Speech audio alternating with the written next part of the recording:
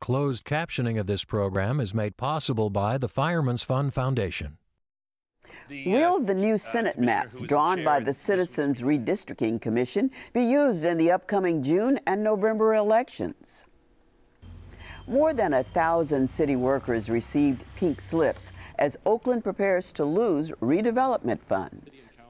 Ross Mirkarimi, San Francisco's new sheriff, faces three misdemeanor charges related to domestic violence. Also, a preview of the documentary, The Memory Be Green, an intimate look at the personal and creative journey behind Ghostlight. The new play tells the story of the loss of Jonathan Moscone's father, San Francisco Mayor George Moscone. I lost my dad when my back was turned. I didn't even see him die. It's obviously a piece of me that hasn't been put together. Coming up next.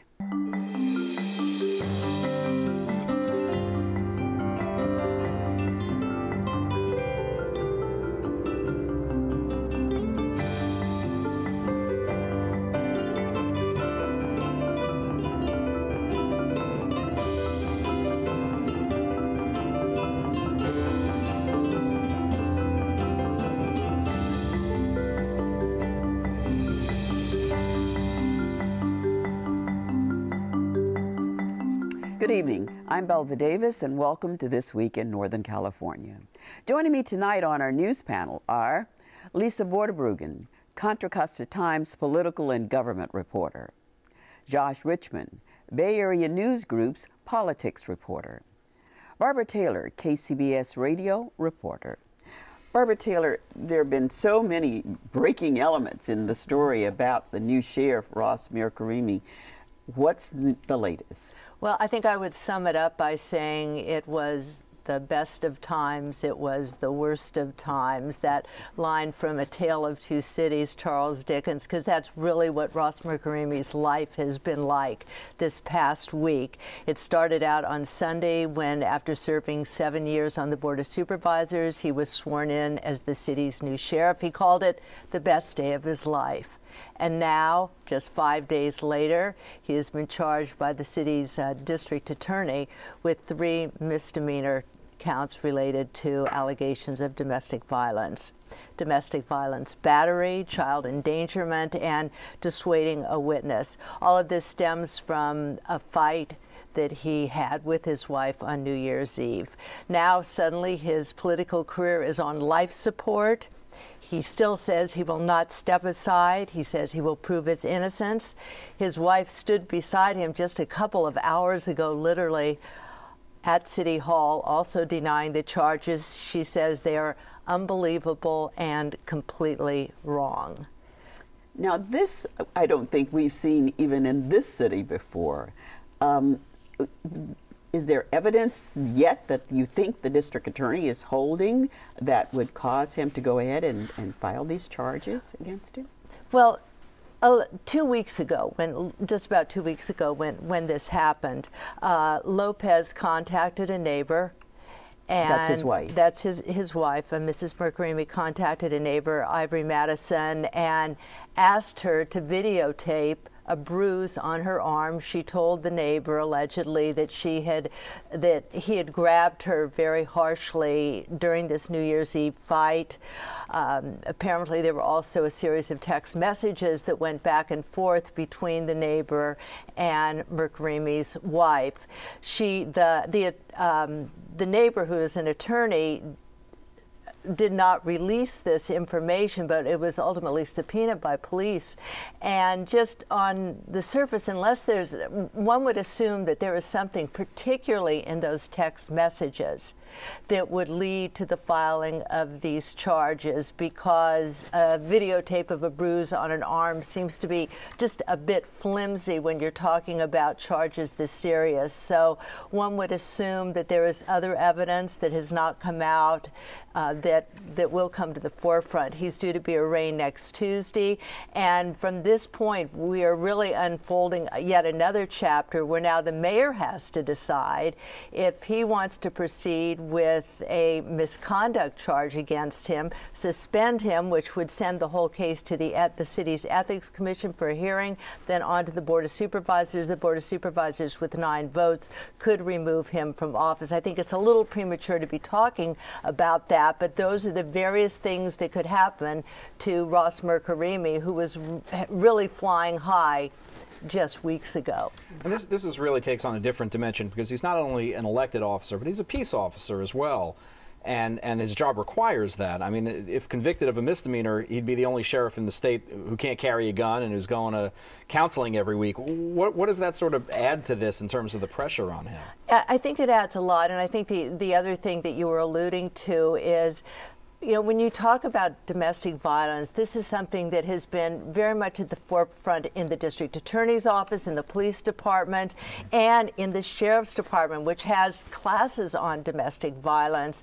After this happened, um, Mirkarimi basically brushed it off, saying it was a private family matter. That consequently enraged groups that speak out on behalf of victims of domestic violence. They then came together on Thursday held a press conference at the steps of City Hall, denounced him, insisted that he step aside until he's either exonerated or the, the charges are upheld, and said, you know, this isn't a family matter, it isn't a private matter. We've spent years trying to get neighbors, friends, people who observe this kind of thing happening to step forward, and this is a major setback in our attempt to really enlighten the community about the seriousness of domestic violence. Mm-hmm. Now, he has said that he won't step down if he gets or step aside or step aside while the investigation ensues. Is there a sense that he'll be pressured to do that rather than going through this entire process that you just described of being sort of shipped out?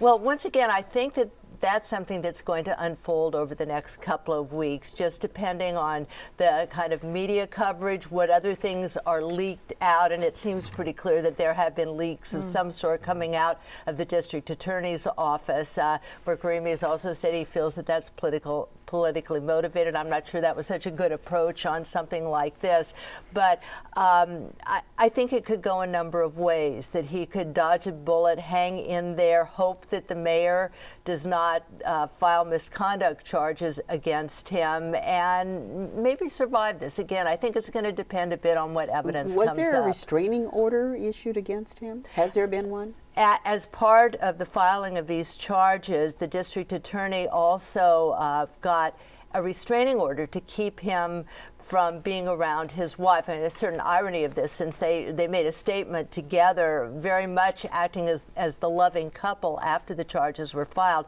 But what I'm told is that this is a pretty common thing that, it, that occurs, and that probably uh, next week they will go back to the court and modify that restraining order so that he can go back to the home and stay with his wife while this uh, case plays, runs its course. Mm.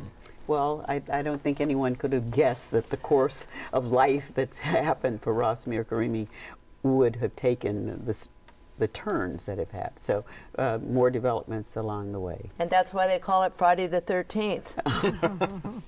well, it's certainly Friday the 13th for a lot of people in Oakland. Oh, yes. expecting to get uh, slips that say they may not have a job in the future. A lot of uh, notices, but hopefully not as many uh, firing? Yeah, pink slips are going out to, to about 1,500 uh, Oakland City employees uh, as the city approaches a February 1st deadline to basically dissolve its redevelopment agency. Ultimately, uh, only fewer than 200 are actually going to lose their jobs, but the city council is trying to, to maintain as much flexibility as it can and give as much notice as it can so that it can figure out where these positions are going to have to be cut. The redevelopment funds are so part and parcel of the city budget. They, they extend into so many different departments that this, this is going to impact way beyond just the Community and Economic Development Agency. There, there are 17 police officers who are, whose salaries are paid for uh, by, by these funds, their contract protects them from layoff, so other people will have to be laid off in their place somewhere else in the city. There are people in the uh, city administrators and city attorney's office and so on and so forth. So I, really no part of the city is likely to remain completely untouched by this. And this, this is you know, what has come of this budget deal that was struck mm-hmm. last year where yeah, the legislature... There, uh, there are about 400 similar cities. Oh yeah, across. The, this why, is going to play out all over the so, state. So rapidly? Well, o Oakland, uh, perhaps the, the money is more deeply embedded in, in Oakland's infrastructure than in some other places. But all cities, Los Angeles is is is also moving to to shut down its redevelopment agency and grapple with the loss of funds down there. Um, we had two state senators today introduce a bill uh, um, th that would delay this effective date from February 1st to April 15th to give cities a little bit more time to grapple with this. But nobody's actually saying that that the money will be kept. The money is going away under this deal that was struck with the legislature and the governor last year. And basically, the cities have sort of, to some extent, you know, are now reaping what they've sown. They went to court to try to stop this deal, this budget deal, uh, and, and the seizing of these redevelopment funds.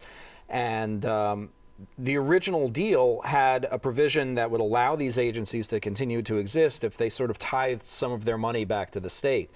Um, the redevelopment agencies in the cities went for broke. They tried to challenge the whole thing, and the only part that got thrown out was that deal. So now they have no option at all but to shut, shut down. It kind of came back and bit them in the butt. You know, Josh, one of the things I don't understand about this is why was Oakland using redevelopment funds for things like hiring police mm-hmm. officers? Mm -hmm. I mean, that is not the intention of this money. Not not the original intention of this money, but I think the the larger and and to some extent more economically strapped and and blighted city that that you get, the more likely it is that they're going to take money from wherever they can find it to plug whatever holes they have.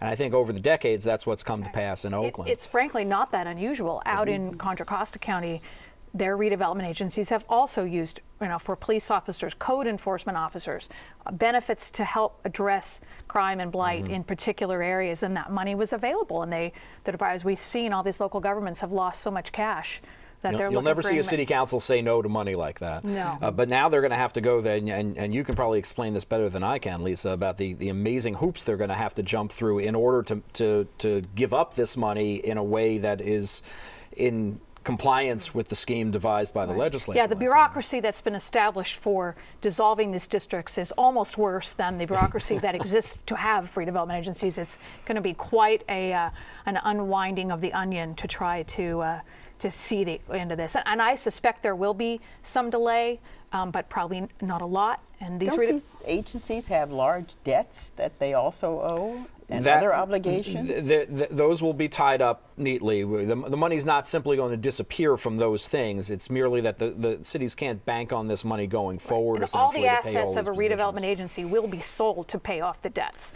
So any properties, parcels, buildings, anything that the redevelopment agency has been holding will be sold in order to pay off, and many of them have considerable debt. And, and the legislature is completely in the driver's seat. The, you yes. know, because of this lawsuit, uh, the, yeah. the, cities really have nothing more to say about it. Uh, Senate President Pro Tem Steinberg this week is sort of said he's not closing the door on a postponement, but as John Myers from KQED Radio put it, he's not exactly jumping to stop the door from closing either. So, and uh, bottom line, we have to talk about what this money was used for.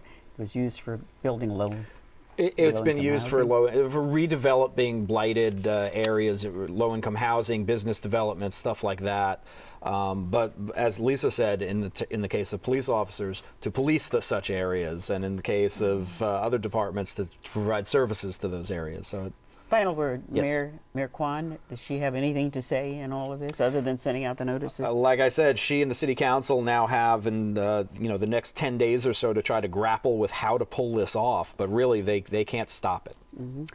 Well, Lisa Vorderbrunn, what is going to happen about an election for state senators? I mean, we seem to have a lot of confusion at the court level, uh, up and down the line, as to whether anybody's been is going to be allowed to to, uh, to, to to say what circumstances, where the lines will be for the Senate districts. Well, if your crystal ball is functioning, I'm sure the uh, Republican Party would love to have a, a, window into that because they everyone is asking that question, and I and I do say everyone qualified is mostly political junkies because I don't know how many folks out in the general public really care about redistricting. But um, by way of background, the Supreme Court is has under consideration as we speak um, and a, a, challenge by the Republican Party to suspend the state Senate maps that were drawn by the Redistricting Commission in light of their referendum that they have submitted that would put it on the ballot um, for up or down vote in, in November. And the Republicans are saying, look, the voters are going to have their say, but in the interim,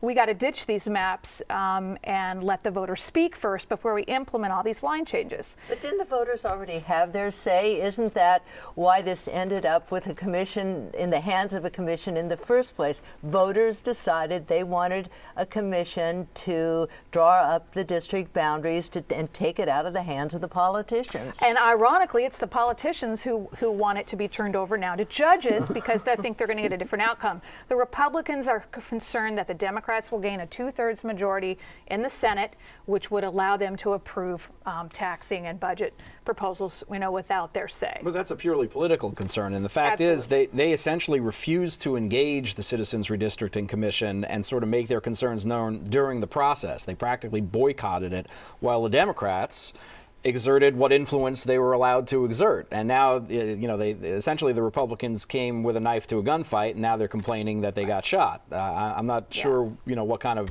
legal and, recourse that. And, that and the independent analysts have concluded that the maps, for the most part, there may be a few little tweaks, have come out in the way in which we live. We, we live in areas that are predominantly Republican, predominantly Democrat. They drew the lines. Yeah, you could make a few changes here and there, but you know the, the Public Policy Institute of California, their expert has said, look, in fact, the way the lines are, new lines are drawn, the Re Republicans could actually do pretty well in 2014 because of the way, because only half of the 40 seats are up mm -hmm. um, every two years. Are so, they substantially different? I mean, I, have read a lot of stories about, oh, these two different assembly members are going to have to run against each other for the same seat, or suddenly there's overlap. Is there just. Yes, they are substantially different than they used to be. And what happens is just because you have a lot of candidates and incumbents who are preparing to run, if the maps are suspended, then they may or may not live in the district for which they've actually filed or you know raised money to go. And then you get an uncertainty about,